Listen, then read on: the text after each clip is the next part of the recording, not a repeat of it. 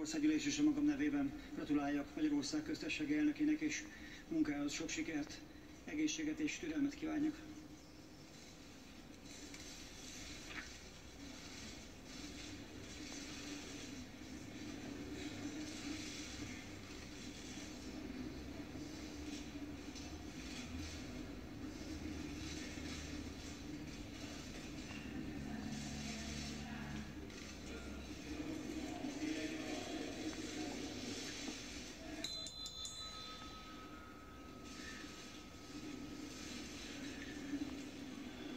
Felkérem Áder János köztársaság elnök urat, hogy tartsa meg beszédét.